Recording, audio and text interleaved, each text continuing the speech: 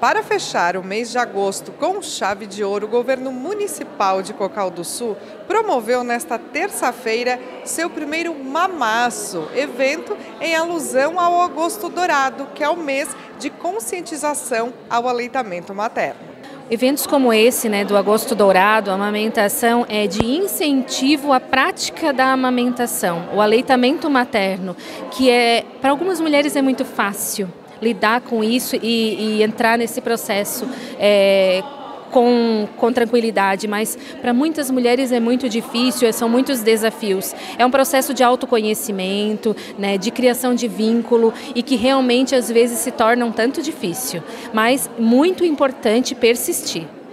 Então, Cocal dando mais um passo em prol da saúde, juntando né, gestantes e lactantes haja essa troca de experiência, né? Exatamente, é o que a gente está fazendo hoje, uma roda de conversa, uma troca de experiências, é, uma passando para outra o que deu certo, é, os erros né, que a gente erra também, e escutando dos profissionais informações de, de relevância para esse processo de amamentação.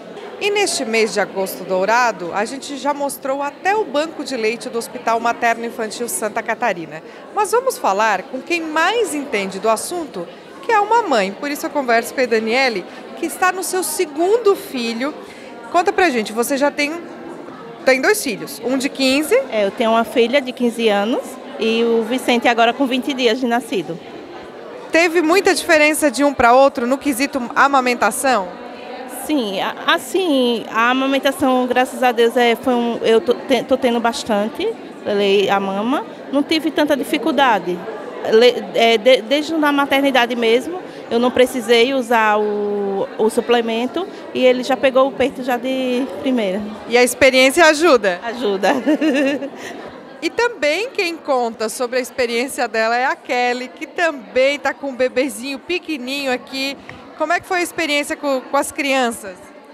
Ah, graças a Deus, os dois eu amamentei. Ah, ela até três anos e agora ele está com dois e meio, estou amamentando também, só peito. E livre demanda? Isso, livre demanda. Então, se ele quiser ir até os três, também vai? Vai também.